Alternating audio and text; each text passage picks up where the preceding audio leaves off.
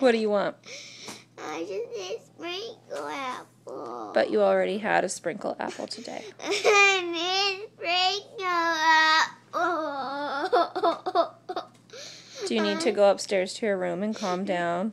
No, I want sprinkle apple. I know you want one, but you already had one, and mommy said no. I didn't need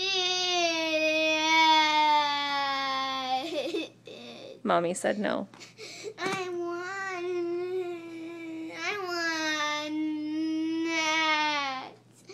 I want. Do you want a healthy snack like a carrot or No. a regular apple? No. I don't want it. I just need my sprinkle apple. Mommy said no.